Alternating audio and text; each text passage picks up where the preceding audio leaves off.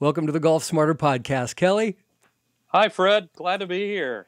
Glad to have you. This is going to be you. fun. I, we kind of snuck around and talked a couple times ahead of this, and I'm really excited to get you on the show. Uh, you've got a great long history in golf with people we we know. We have mutual friends, Terry Koehler being one of them. Right. Uh, but uh, let's talk about today. We're going to talk about the golf course that you currently work at, Wolfdancer in Austin, Texas. Right. We're also going to talk about the pace of play, which has been rated very high by your customers, Right. which is a very nice thing It is to be nice. talked about. I found it in an article recently. And then we also want to talk about you have the new Harvey Penick Golf Academy, Yes, very excited about that. and we'll talk about that as well. Great. Where So do you want let's- start? Let's start with you, my friend. Okay. Um, how you are the director of golf and head of golf instruction for Wolfdancer? I am, yes. I've been here uh, six years now. Uh, I was here for three years, left for three years, and then had the great opportunity. You know, who says you can ever get to go back? So I got to come back in January 2013, and I was thrilled to be offered the position. Uh, when we first opened, I was here prior to Wolfdancer and Hyatt Lost Pines being open in June of 2006. I was able to, uh, you know, be the head pro at that time and did a lot more teaching then than I do now and we'll get into that with the Harvey Penick Academy. But uh, so thrilled to be back here. I really felt there's a lot of things that I wanted to get done operationally, sales and marketing, my background as well in the golf industry, uh, that I couldn't wait to get back here and just pray that, you know, just like West Coast to East Coast in 2015, that we get some stable weather. I mean, it was just crazy here, like everybody, everywhere else last year. Yeah. What What are the issues that you were having? What kind of bad weather were you having? I I comment on calling it Old Testament weather to where we had flooding in the spring, drought in the summer, and then more flooding uh, in the fall. So it was we had over 70 inches of rain at our property, and it was really challenging, and it was really hard for everybody in Austin area to remember a Saturday when it wasn't raining. So and you know Saturday is our big day for golf around here, of course, for everybody to play. So you know we did have some catch up in rounds. It, it really hurt us badly in the spring, but we did catch up because you know your regular golfer is always going to find the time to play. So you know if he got washed out in the spring, he'll make it up in the summer and then in the fall. So that happened, but it was a crazy year last year for weather. Yes, and unfortunately, it seems like it's going to continue to be unpredictable at best. It is like this February. This may be the best February we've ever had. You know, it's been 65 to 80s every day. It's been cooler in the morning, but we have not, you know, we've probably had only a handful of frost delays. That's so unheard of for us. And we haven't had any closed days at all for January and February. January and February, we typically have three to four days per month where we're not even open because it's too cold. And we haven't had any of that. It's been pretty incredible. So I'm kind of thrown off just looking outside today that it really is February because it feels like April or May. It's it's incredible. So uh, you're in Austin, Texas. What is so different about Austin than the rest of Texas? Because when you talk about Dallas or Houston, you're talking flat, big sky, uh, high humidity, especially Houston, high humidity. Mhm. Um, Austin seems to be not only geographically and politically and thought wise, Right. um, emotionally, a very different place than the rest of Texas. What? Let's keep it on golf, I guess. But right. Sure. uh, what? It, what? What makes Austin special? Well, I think it's uh, and it speaks to our property as well. All of Austin, the t- you know the topography changes because you're coming into the hill country. So, you know, compared to mountains, you know, Rocky Mountains or the Appalachians, we don't have mountains, but it's hillsides. But it's it's beautiful. It's not. Yeah, Houston can be very flat. There's a lot of great golf courses there, but here, like what Arthur Hill, Hills did when he designed our golf course, he really didn't have to move a lot of dirt. There's so much interesting change in terrain uh, in the whole Austin area, and it speaks for us as well. And you know, Austin's the capital of Texas, capital live music, and you know the temperatures typically year round. Now, allergies aren't the greatest here year round, but you know the weather's really good, and there's Oh. so many people moving here every day. It's becoming, uh, you know, the Silicon Valley Junior so to speak. I mean, Google's here. There's so many other companies that are moving here in technology. Hey, Google's so, everywhere. Oh, I know. Yes, I know. and it's the home of Michael Dell, but there's so many other companies that are moving here, and it's great to see. And I, what I love about that is all the tech guys that play golf. They love it. They're they're fanatical about it, and we just love having them in the Austin area. Oh, interesting. Yeah, I think of Austin as a college town. I don't think of it as the capital. Right. Yeah, it's both. There's there's a small university here, University of Texas. Yeah, small. Yeah. Yeah. yeah. How, how, many people they get out for football games on on uh, Saturday? Oh, quite a few. It's they're close to probably hundred thousand. I think the stadium is. It's yeah. It's it. They're rabid, and you know, with no, we don't have any professional sports in Austin, so that right. they are the professional sports, so to speak, and baseball as well. So it's uh, oh, it's oh, really? a great college. Well, Texas town. is a football state. Right. Right. Yes, it is. And yeah. you probably see I don't have any orange on today. I'm a TCU Horn Frog, so I wear purple almost every day. So I'm not really in the right town, but there are faithful frogs in Austin as well. Oh. But most of them are in Fort Worth. So okay. Um, and how have you always been in Austin? Are you? I've been you in Austin drawn to since, it uh, since around 1992. I've been in Austin, but I've lived basically all up and down I-35 between Dallas Fort Worth and in San Antonio. I mean, the you were talking about Terry Koehler. We started the Reid Lockhart Golf Company in San Antonio, so we started down there, and it, it and it kind of grew from there. I've given you know going back to Terry just a little bit. I've given him a little a little, you know, elbowing that, you know, that new Hogan blade looks pretty similar to our old Reid Lockhart, but it was a great iron as well. So, you know, why not? Mm-hmm. I mean, you, you look at all the sand wedges today, they're still replicas of the old original Wilson staffs. They all are. Because what are you going to do to, yeah, what are you going to do to improve a sand wedge? You want, the, you want it to look pleasing to all the players and just really mess with, you know, everybody's kind of messed with the bounce and the sole on all the wedges now. Um, so what makes uh, Austin golf? Because when I've uh, talked to various people and listeners and saying, "Hey, I, am thinking of going down to Texas to play golf. Which city should I go to?" Everyone's like, "Oh, you got to check out Austin."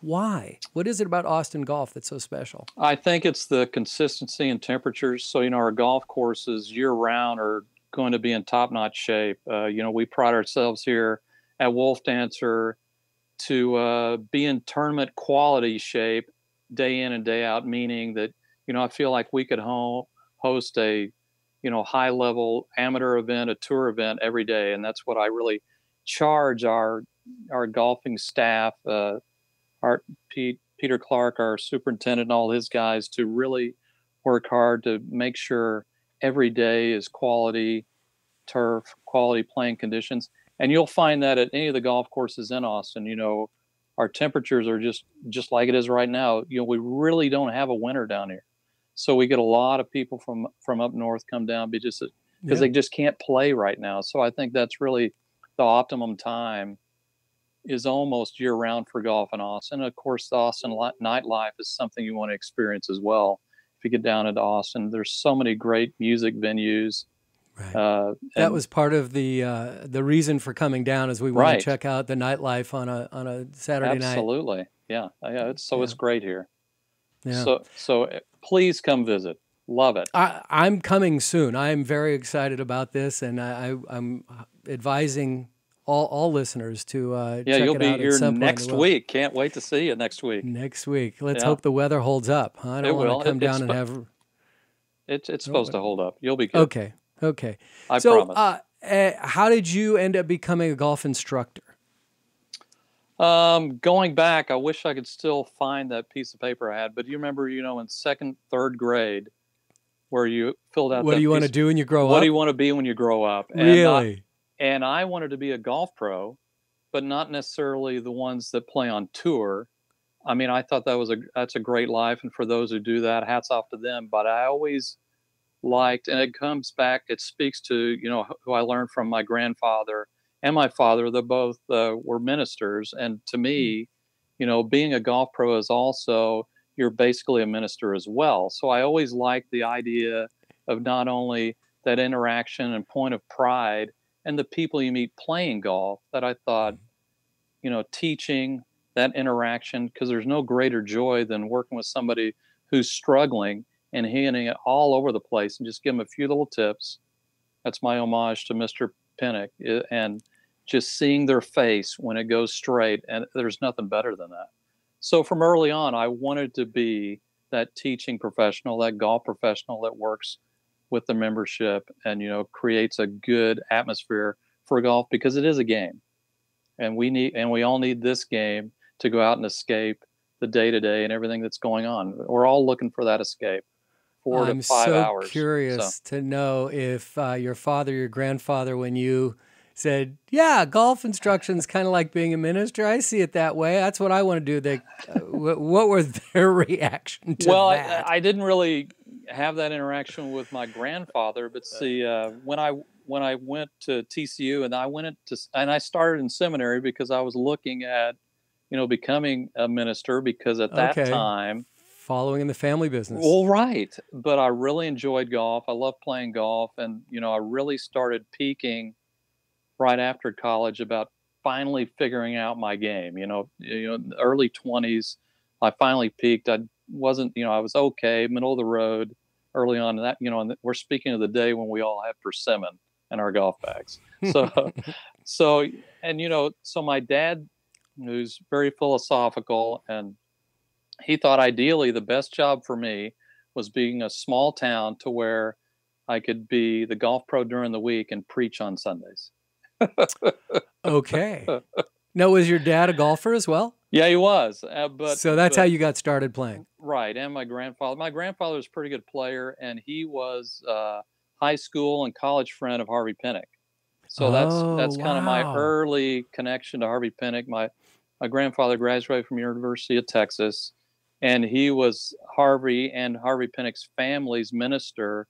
He was at Hyde Park Christian Church in Austin. So Wow. that was pretty neat. So I got the opportunity to take a few lessons from Mr. Penick and very quiet, very unassuming, and just not, you know, like we see today. I, I just still love his style of hmm. teaching. And Jim Hopkins, who's going to be our director here and one of the founders of the Harvey Penick Academy early on, you know, Harvey always thought, and I've been in total agreement of that, that within all of us, Fred, is a golf swing you just got to have that instructor help you find it. You know, I'm not going to swing like Tiger ever. You know, Yep. anybody. So putting me up against Tiger, I mean, maybe if you put me up against Craig Stadler, I got a chance. I'm, I'm kidding, but but you know, but you know, we've all got our own way of doing it, and and Mhm. trying to put us into a method. I don't think that works.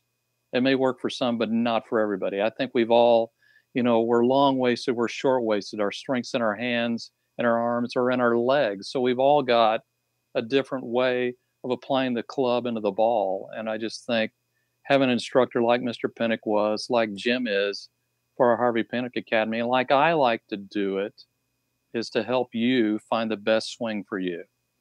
Oh, good for you. Hey, That's thanks. awesome. Yeah, no, that, is. that is great because you know we've had so many conversations with instructors who want to get you into their their hitting bay and put you on video and then compare you to Tiger and say, look at what you're not doing. It's like I can't. I'm not built that way. I don't have that flexibility. I'm.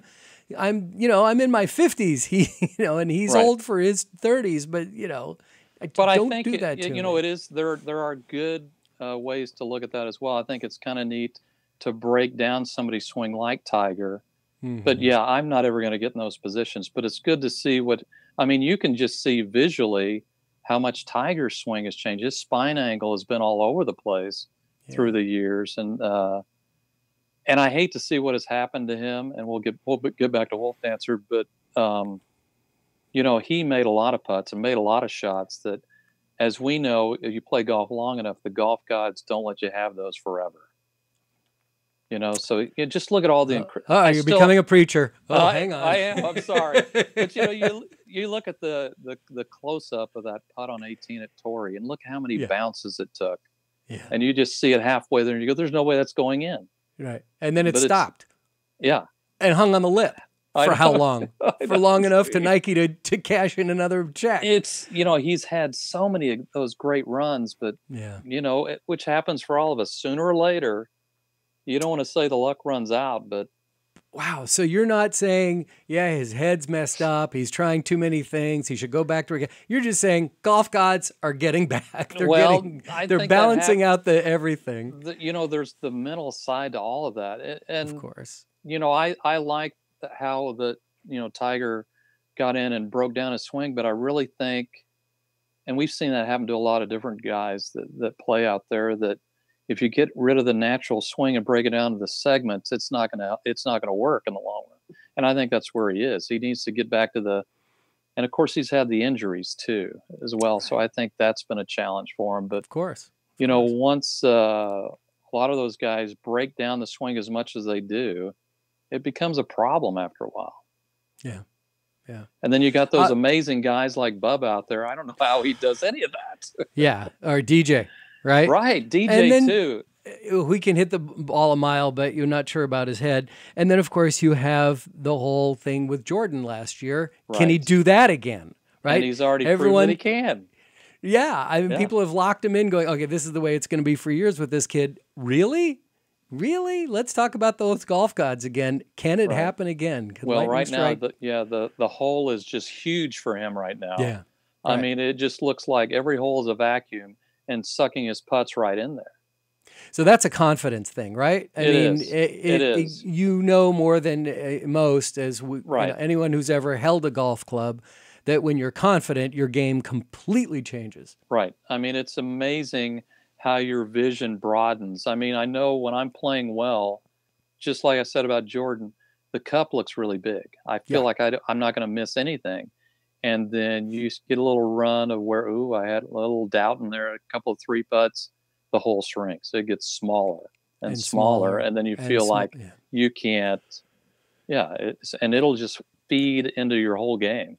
It'll get into I've- your long I've game those- too. Right. And I've had those moments where I'll be setting up my putt, I'll be looking at the line, and I'll actually see a line on the green that's not Right. there, but I see it and it's like, yeah, I got this one. Done. Yeah, Easy. yeah. That's you know, I wish rare. somebody, I wish somebody would write as well, and it's, I think it speaks more to a little bit of that book, the Zen, the Zen of golf. Is how many times have you, Zen Golf, Dr. or- Joseph Parent. right, or someone in your group, and it's been like a 20, 30 footer, but halfway there you go, it's going in. I mean, ha- Yeah. and it does. I mean that that's the phenomena of our game that just is just crazy to me. But you can hit one oh, that feels good, it's got a chance, and then everybody, it's going in, and it does. Yeah. When- you I can't tell you how many times I've I've had situations where I like I made the putt, someone made the putt, and everyone's going, "It's going in, it's going in, it's going in." Oh, and it Well, stops then there's- yeah. that far to the left. Right. But see, how I approach that is they all went in. Well, if you talk about Zen golf, you talk about Dr. Joseph Parent of Zen golf. He says you made the putt, it, you just didn't hole it. Right. So that's the way that one looks. Yeah. So who is your hero growing up? Uh, did you have golf heroes growing up and, and playing golf? I think, yeah, I had quite a few. I, you know, um, course, Mr. Hogan, who I worked for um, in the late 80s and early 90s, I really had great respect for his game. Um, Byron Nelson as well. I had the opportunity to meet Mr. Nelson many times. Um, just all those great players. Uh, you know, the the coolest thing I think, and this was later on, the the first round of uh, Colonial. I think it was '82.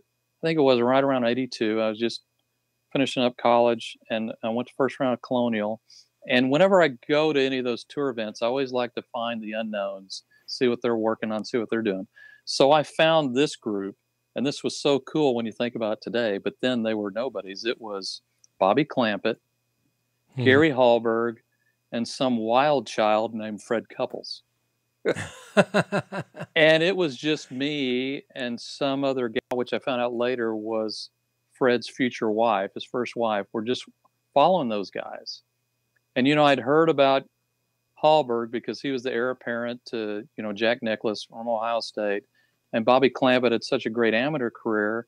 And then this swashbuckling guy with long hair, he And his golf bag, I still remember his golf bag. He had a old Freddie had a Wilson staff bag, Hogan irons, and a three wood. That was it. Persimmon three wood. Wow. That's all I had because wow. he, yeah, and you know that loose flowing swing, which is still there. His hair is just gray now, like all of us. But it was the most amazing thing to see all those three guys, rookies on the tour, and play. And that's when I really became a part of Freddie's crew because you know he'd just throw his ball up on the tee, roll it around a little bit, and not even use a tee at all. He'd just kick up some, you know, just get a little turf up, and he'd hit that three wood past both those guys. Wow. It was incredible, just free flowing, everything. You know, yeah, and Hallberg so and Clampett were just so precision down the middle on the green, all of that. And Freddie had this big old kind of a slice and just did it every time. And so I was really enamored with those guys too. That was really cool. Very cool. Thank you. I You're appreciate welcome. it. That's a great Sure. story. Yeah. I want to get. I want to talk a little bit about Wolfdancer, the, the golf course that you're uh, currently uh, working at and running. Um, I, I found an article from Golf Advisor saying top 25 U.S. courses for pace of play on Right. Golf Advisor in 2015, and they did this, and it was. Uh, I, I'm look, looking here at at this um, Right. article. I printed it out. It says 121,000 plus reviews written by golfers on Golf Advisor in 2015, and the single greatest complaint is in a mediocre to poor review is slow pace of play. Right. Um, and then it talks about the top 25 courses, and they're at number nine. Congratulations. it says Wolfdancer Golf Club. Uh, and here's what people were saying about it very good time, pace of play excellent, finished in little over three and a half hours. That's pretty impressive. It is. And Would you like to comment on that, sir? we're not open at, at dark either. So, well, I think, uh, yeah, Do you agree with that statement? Well, I know it's going to be challenged with this because with our rating from the back tees, we're the fourth hardest golf course in the state. It's pretty challenging, and our footprint is very large. So when we get big groups here, it's pretty challenging to get, uh, you know, group play even with a scramble under five hours. But Really? the offset to what what the ranking is, I, I believe, is the time of year you play. Like right now, all our native grass, which is really in between all the holes, is mowed down. So you can That's get in good. there, you can find the ball, you can you can advance it pretty easily. Spring and summer, that stuff's going to grow up, and it's beautiful, but it's three feet high, visually Mm. intimidating, hard to play out of, hard to find. So right now, our pace of play is great because the time of year um, and just everything's so firm. And if you come out here at twilight, you know, in the afternoons, you can play in three, three and a half pretty easily. Uh, most of our members tee off in the morning, and most of our regulars are right around the morning. So if you've got the opportunity to come out here after one o'clock, after two o'clock, yeah, I can guarantee you probably 90% of the time it'll be three, three and a half. And the other That's thing that helps us with that is we've got the Visage GPS system. So, Oh, okay. you know, you is start, it a walk? Is it a walking course, or do you have to ride? Well, you don't have to ride. Uh, we can encourage that, but but I'm seeing, which is nice to see, more and more walkers, because the proximity of the first tee is is kind of far from the clubhouse. So we do offer Okay. rides to the first tee, but we Mhm. maintain cut throughs through the native from every green to the next tee, and we do a lot of high school and college events where they walk. So it Yeah. is it is doable. It's very doable, but uh, now I forgot where we were going. Well, we're talking about pace of play and walking uh, yes. versus oh, oh, riding. and the, right, and the and the GPS system as well. So with right. with the GPS, if you haven't played here before, the first few holes there's some blind shots and it's pretty challenging. Oh, okay. So you know the GPS, you can hit the flyover, you can kind of see where it wants you to go, and it also helps us monitor from the golf shop where you are and pace of play, so you're ever mindful of that. But we also, because we're in the that technology, but I really like the face to face. We've also got they're called marshals at other places. We call them course ambassadors here. So they'll touch base with the golfers two or three times during the round. Do you need a water? Did you run out of golf balls? you know, anything like that. Do you need, and just kind of let them know where they are on pace. Mm-hmm. So there's things Mhm. like that that we do. But you know, typically our afternoons, yeah, I think three, three and a half is very doable. Wow, that's great. Now, I- I for all the listeners, Saturday Yes. morning when I got 120 people out here, it's not going to be three and a half hours. Yeah, I that wish it was, Uh, especially on the weekend. So Right. when you talk about having a large footprint, does that mean you don't have like a, a hole goes in one direction, and the next hole comes back in the other direction, then the next hole goes in the next direction, and then just back and forth and back and forth? Is it well, there's a little bit of that. long, a long distance between each tee, bo- you know, from green to tee box? There's a What little is- bit of all that. There's some of that, but when we get into spring and summer, when all the trees have grown back out and the native is up, and it's really neat. Except for two or three holes, on most holes, all you see is that hole.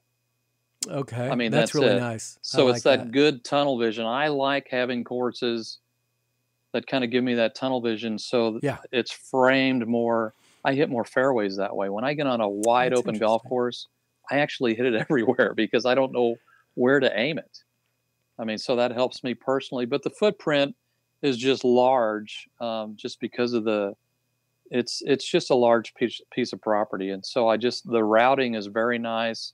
You start out along a wooded ridge line. You work through in some prairie. We've got some uh, holes that you know can take you back to St. Andrews.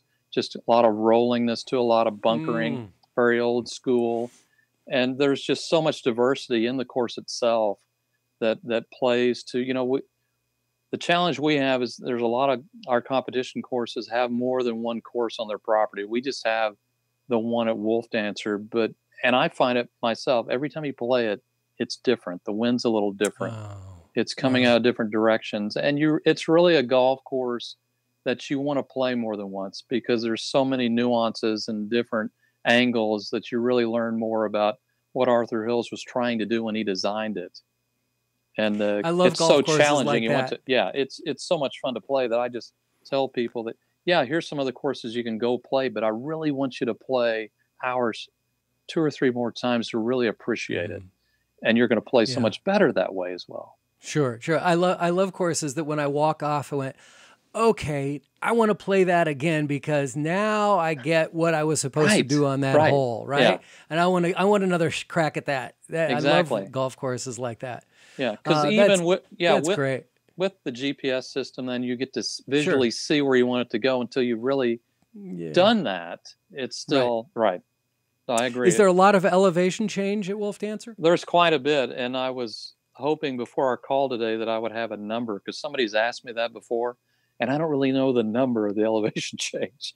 But I think I should know that. But there's quite a bit, um, and you'll find when you come in here next week, our drive-in, we have a three-mile drive to the property off the highway. So don't get Oh, really nervous when you're at a mile and a half with your guys go, "Where are we? yeah, okay. I'll, I'll warn them of that. is this deliverance part two what are we going to you know it's, it's not going to be like that so it's it is three miles back in here but Mhm. you're going to find a lot of turns a lot of rises and and low spots just on the road and basically the whole front nine is like that i mean the Wow. uh, it's you know you're going to have every type of lie you've ever not practiced is going to be here you're gonna Oh no. But no, it's fun. No, no, no. but it's fun fred it's fun Yeah, i mean yeah. Uh, Yeah. Do you have any par threes that the uh, the green is elevated so you can't see the ball land? um no we don't Good, because Yeah. those always terrify me. Because what if you get the hole in one and you don't get to see it go in? I you know, had you get that. your. Have had you that- really? I That to that me is like the most yeah. anticlimactic thing you can possibly have is not see the ball go in when you finally get your hole in one. Right. What happened to you? 46 years of playing golf. I got my first one in 2012, and it was Wow. uh, in, at White Bluff Resort, the property I was between my two times here. And, you know, hats off to me because I was playing with my boss and the owner. But one of their little signature holes there is like 165, but it's uphill. It's beautiful. I hit an eight iron. It looked online and great, but, you know, we got up to the green. So I got my wedge out and my putter because I thought it went over. Sure. and everybody else did too. And so Oh, I couldn't find it. And then one of the ball. guys goes, Hey, what are you playing? Here it is in the hole. And I'm like, All right. But yeah, we never saw it. Yeah, I mean, it's like, yeah, uh, yeah. I that's the whole point of a hole in one. You want everyone to see it go in, right? Yeah. Yeah. So, Oh, what i'm so sorry that happened to you.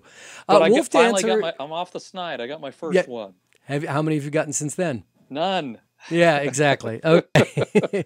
Doesn't that be crazy? You know people who Oh have, yeah, have buckets 10, 12. It's, yeah, and it's like, really? How do you do that? Well, I it's so funny about- because the one that I finally got was with this group of guys that I tried that I'm coming to Austin with, um, and and you know everyone thought it went over the green. I'm like, no, I I really think you know.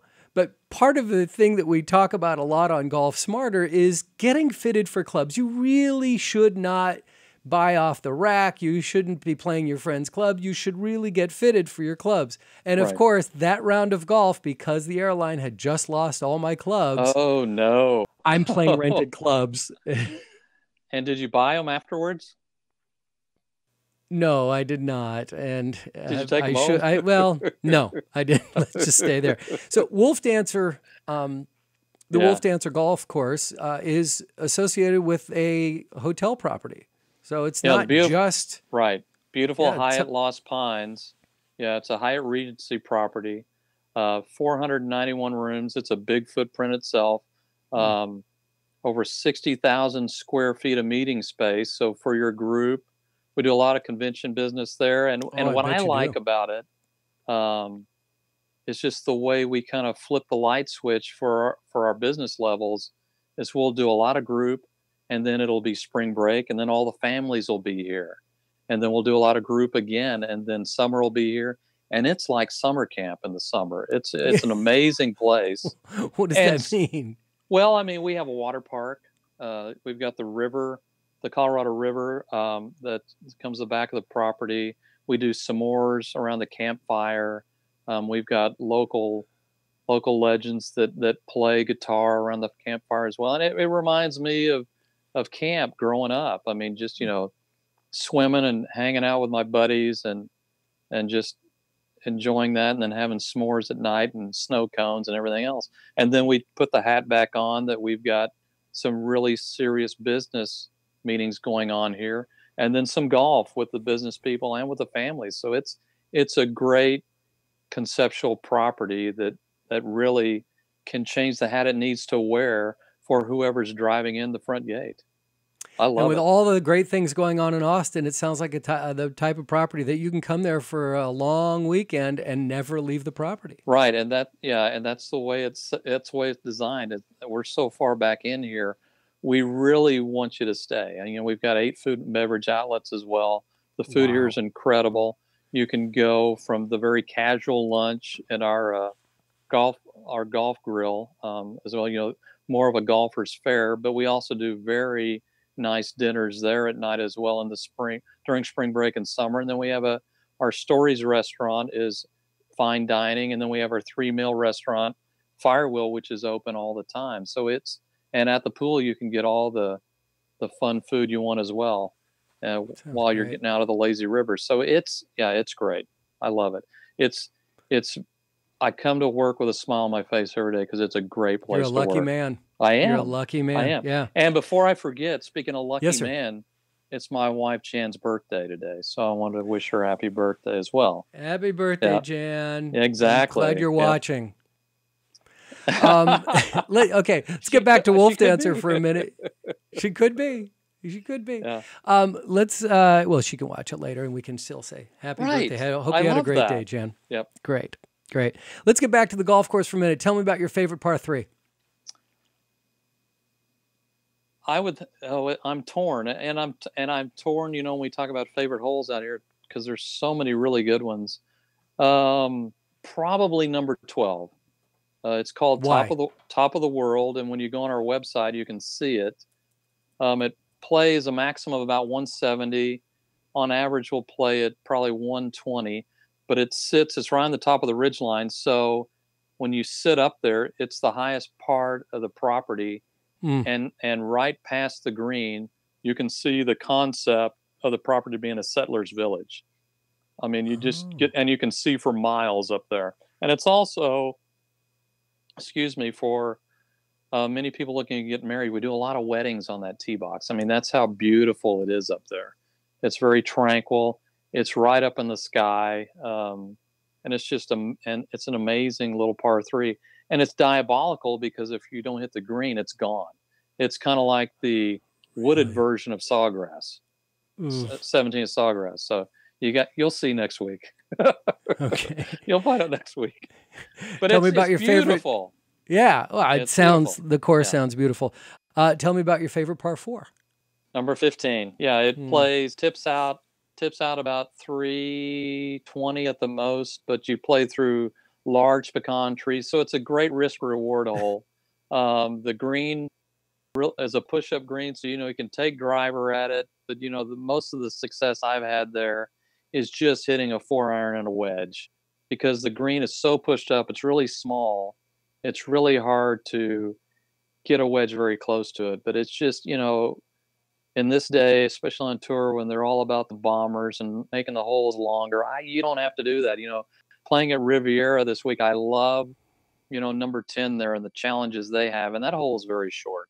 Yeah. And so I, I like to see a lot more quality holes that don't have to be, you know, with the US Open when when they're playing a par four that's 520, I'm just like, oh, yeah. You know, the- Courses courses have gotten way too long for the average golfer. It's not Right. fair that they're spending all that money for uh, one event every thirty years, if at best. You know, It Right. just- It, it Yeah. doesn't make sense to me. And it's a plus, game. They're they're playing into these guys' hands as far as if you're making it longer. That's what they do. They hit longer. But Right. how's their short game? Let's test them there, like you do Yeah. to us. Right. Right. And that's what you know. Everybody was so nervous, and I love how Merion held up in the Open. I mean, that was great. Yeah. It was good to see that. Borderline, some of it it just got so firm, but I loved seeing a shorter course being used for a major, and it held up well. Yeah. I love that. Yeah. Tell me about your favorite par five.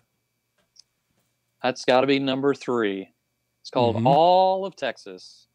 It's it's about yeah, well, it's uh, the tee box is perched up in the trees, so it's about 620 from back there.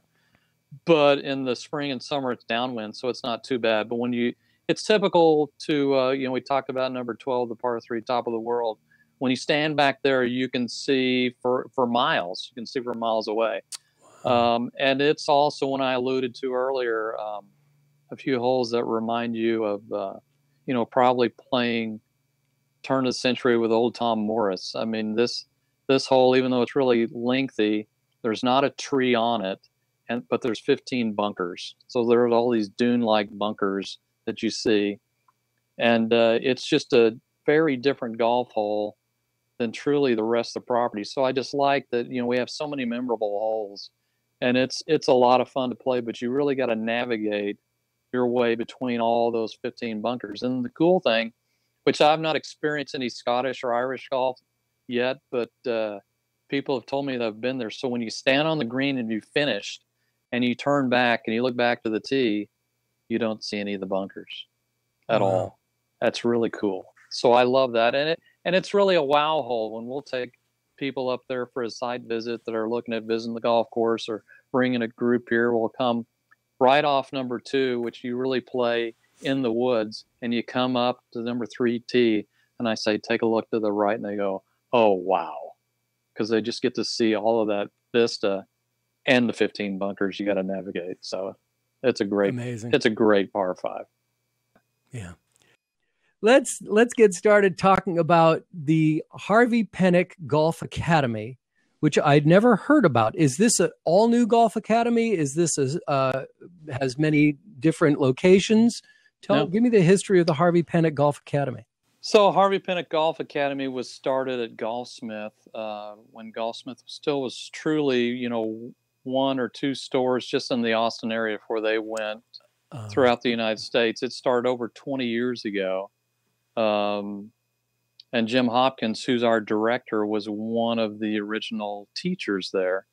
And it was, uh, you know, for, for Golfsmith, it, it landed into their business that they were trying to fit people and offer lessons. And it worked very well there. In fact, uh, Jim said, you know, they had over, in the life uh, of the school there, over 25,000 people came into Austin to go to that school based on, you know, just their knowledge of reading the little red book Harvey Harvey Penick put out. And he's got four now, but, you know, just his legend, you know, of working with Ben Crenshaw and Tom Kite, who are both UT, University of Texas players. And, and, and I tribute, uh, you know, Mr. Penick's teaching style as well to look how different a Crenshaw and a Kite are as golfers.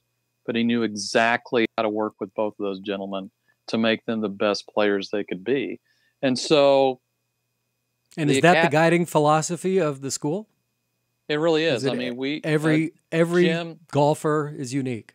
Right. And we're and like I, I mentioned before, that you know we all are trying to help you find the golf swing that you have within you and and work with that the best you can. So it's it's it's non-invasive. There's no pressure to it at all because you know we want you to enjoy the game of golf.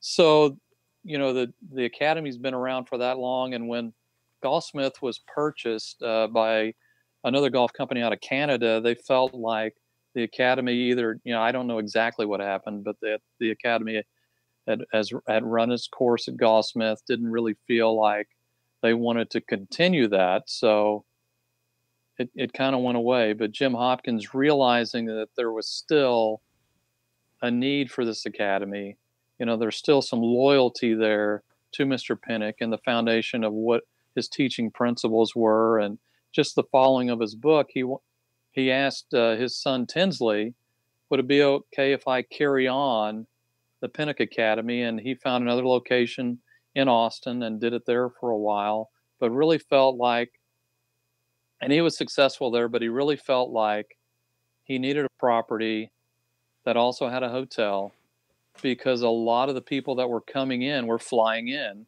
and didn't live mm. live in our region, Dallas Fort Worth, Houston. He still gets a few of those, but most everyone that was coming to the school was flying, you know, like this time of year, getting out of the cold somewhere else, you know, from the from uh, West Coast, East Coast, really north and uh, that's why we're coming. We have one guy who he he kind of guides us in our foursome because uh, he comes from Chicago and he's yeah. had he he goes crazy not getting to play golf over the entire winter, and so sure. each year that's it, why we're doing. It's got to go. So yeah. so Jim approached me, just came in my office. I've known him a while. Just came in my office and.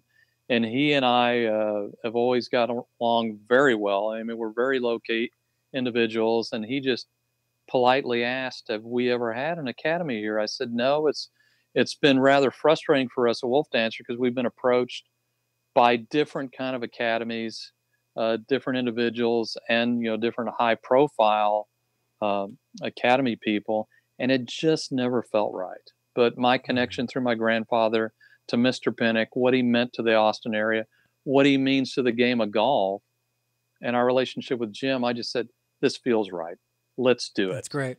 And That's so great. and so we are, and and uh, and I'm thrilled about it. So to the uninformed, uh, which I have to admit, I'm one of them. I've heard of P- Harvey Penick. I, I, know that there's a what is it, the Little Red Book, Harvey Penick's right. Little Red Book. Right. I'm yep, trying to remember off the top of my head. Mm-hmm. Right. So, uh, and was Harvey a tour player? Was he just a great instructor? Who was he, and where did this all come from? Do you know well, much of that?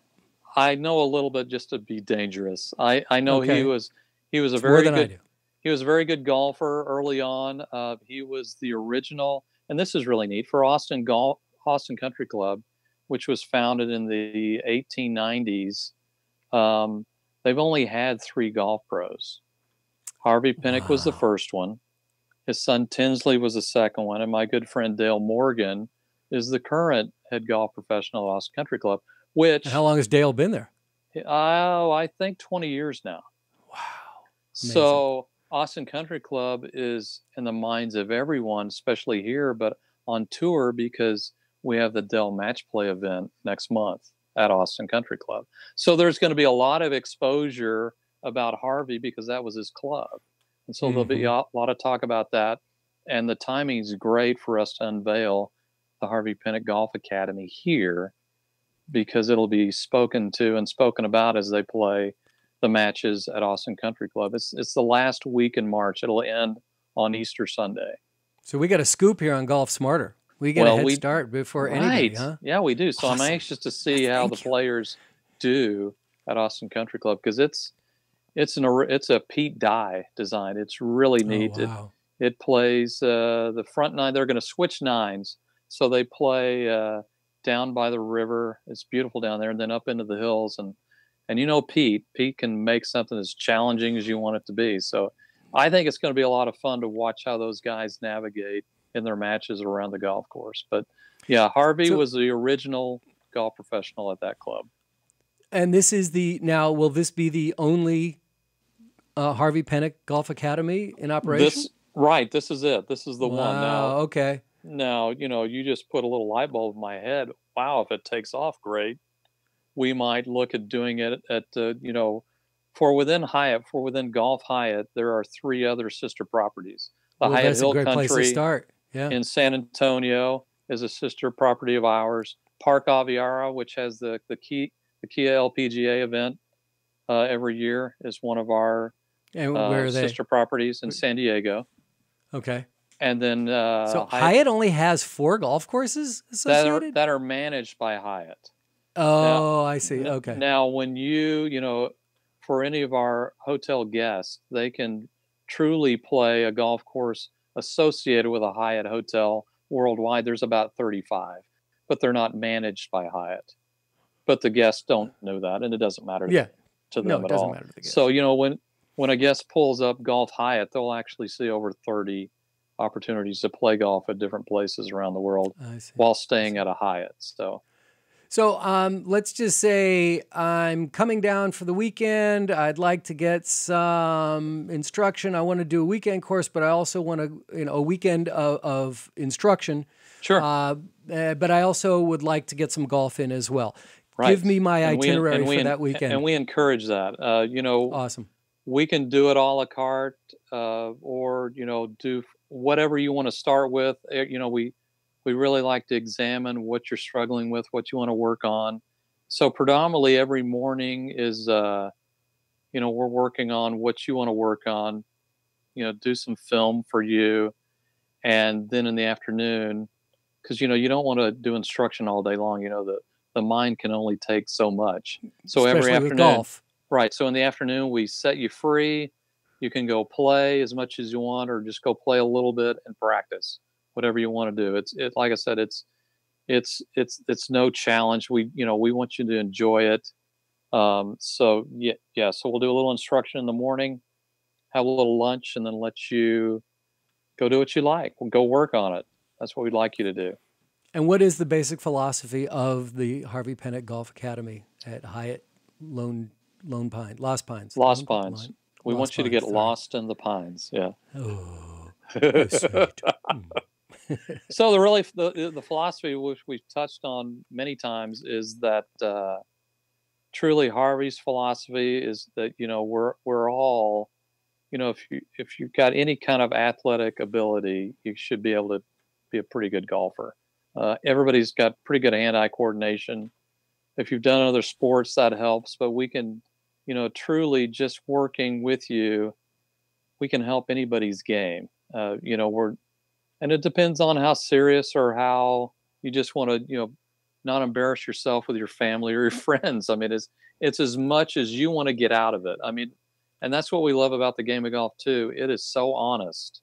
You know, if you haven't been playing or practicing, sadly you're going to know the results you're going to get so he's his philosophy is great that you know just help you find the way to be the best golfer you can be and that's all we want and you have all the modern conveniences of electronics and video and we do uh, flight monitors everything that that harvey never had um, but probably knew instinctively uh, right I have mean, all the tools for you yeah, he really, and uh, especially later in his life when his vision was wasn't very good, and he couldn't see. You know, ball flight's very important, so for everybody. And but he got to where he couldn't see it, but he went by sound. I mean, how amazing is that? He went by wow. how solid it was, and and that's and that's how he taught his later years. I mean, just by how solid it sounded.